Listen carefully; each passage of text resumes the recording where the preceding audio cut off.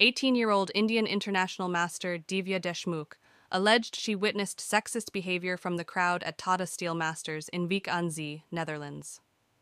The teenager wrote a lengthy Instagram post describing her experience. Indian chess player Divya Deshmukh has alleged that she endured sexist behavior from spectators at the recently concluded Tata Steel Masters in Wijk aan Netherlands, saying they focused on irrelevant things like her hair, clothes, and accent during the tournament